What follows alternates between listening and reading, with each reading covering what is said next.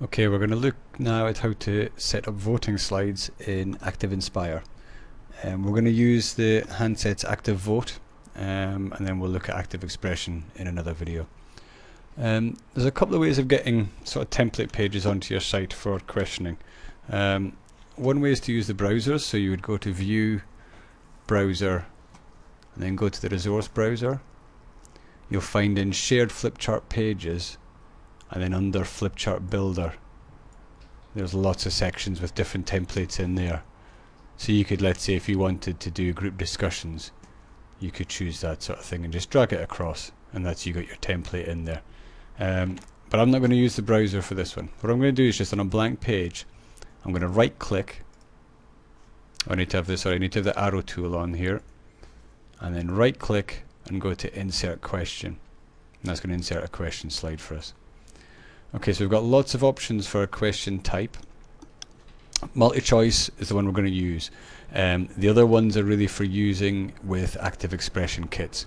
Um, I'm going to say there's only going to be four answers and insert a new question page. I could do it just adding the questions to the current page if I wanted to, but we'll just do a new one. So now I've got to choose our template. So when you scroll down here, if you notice some of them, you can make the you can make them bigger just by using this wheel on the right. Some of them got A, B, C as their buttons, and some have 1, 2, 3, and 4. Now I'm using Activote that's got A to F on it. And even though that I know the next slide is going to ask me, do I want numbers or do I want letters, I'm going to choose letters on these templates because even though you choose um, letters in the next question, if the template has numbers on it, it stays with numbers. It seems very strange. Okay. So I'm going to choose this one here. So we know that's got the question at the top and then four answers with the letters underneath. So I'll click next. And then we've got to enter the question text. So we're just saying what's 3 times 2. And what it says here, choose the type of option label, alphabetic A to F or numeric 1 to 6. If your template already has numbers and you keep that A to F, it's going to stay with the template with the numbers, which I think is quite confusing. Number of responses for each for this question. There's only one correct answer to 3 times 2, so we'll keep that as 1. And we'll say there's a time limit of 60 seconds on it. And we'll click next. Okay, let's say we want to tell it already that we know we're going to put number 6 into the question, the answer D. So it's going to be number 6. So we can say that's what the correct answer is going to be. We don't want a follow-on question, so I'm just going to finish at that point and here's our template up here. So it says what is 3 times 2 and we've got A, B, C or D there. So if I now just take the text tool on the right hand side here I'm going to choose quite big numbers. And we're going to say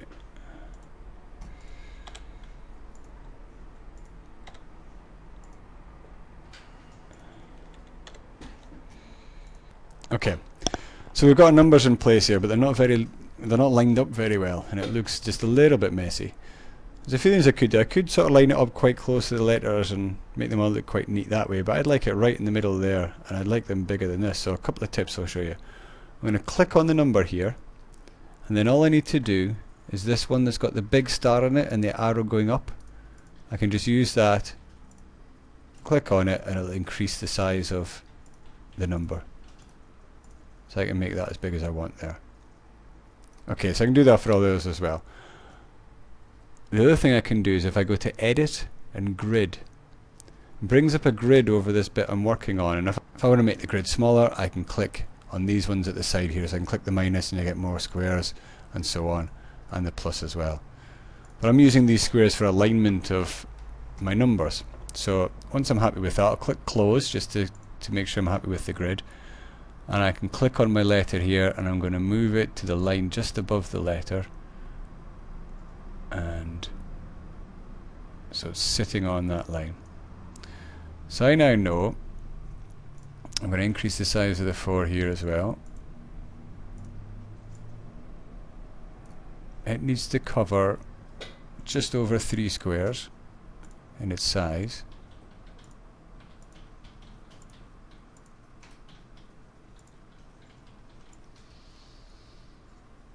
So I maybe done it one too big, so I can use this one to move it back down one. So there we go. So we're at the right size. So I know if I put it in this line here, it's going to be fairly much in line with the 3.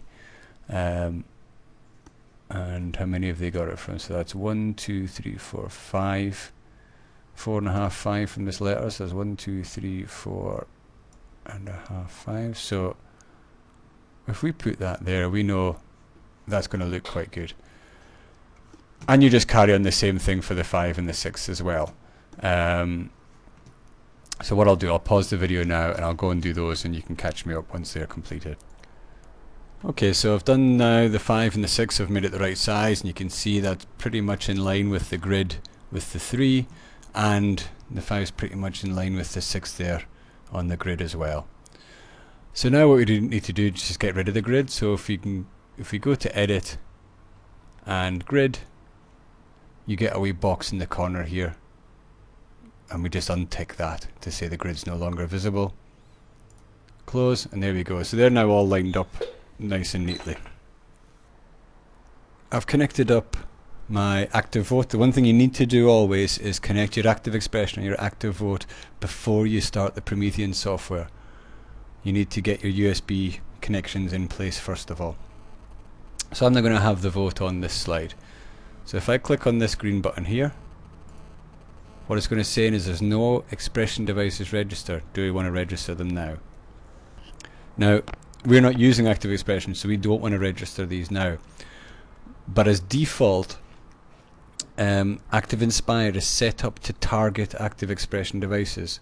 So the first thing we need to do is tell it that we're using Activote. So I'll show you how we do that. So we're going to say no to this.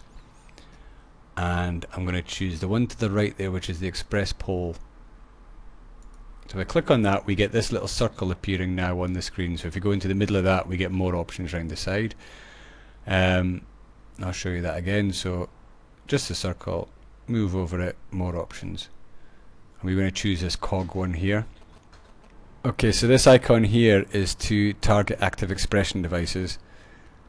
And this one here is for targeting Activote devices. Now it's an Activote device that we're using. So we need to click into this one and select that. Okay, now what we can do now is get rid of this grid bit here. I'll get rid of that toolbar there. And then if we now choose the green button, we get our voting up there. So this is a 32 handset kit, so people can start voting now. So I'll get a few of the handsets out and we'll have a few votes.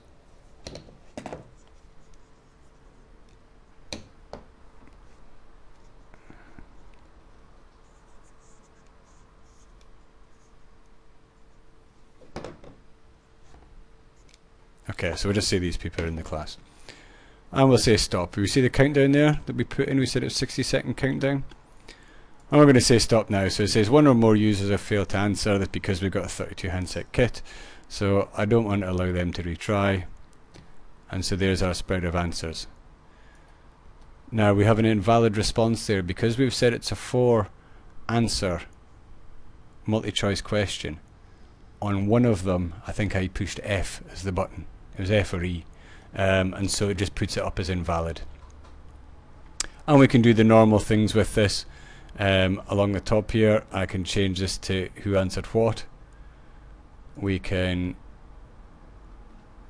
do a list of who answered what, vertical graph, pie chart, and a text report.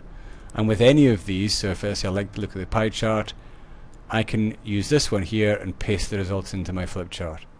So if I click that now, there we go, there's the results of our poll into the flip chart and that's just a graphic object. I can resize that and put that at the side if I want to print out these nodes for example for people um, then we can do that. And that's how to set up um, the votes, uh, the voting system using Activote in ActivInspire. I'd really advise that you look um, at the document at the, at the, top of this page um, that speaks about designing effective questioning for classroom response teaching because um, that can really be crucial um, having good questions that test your students.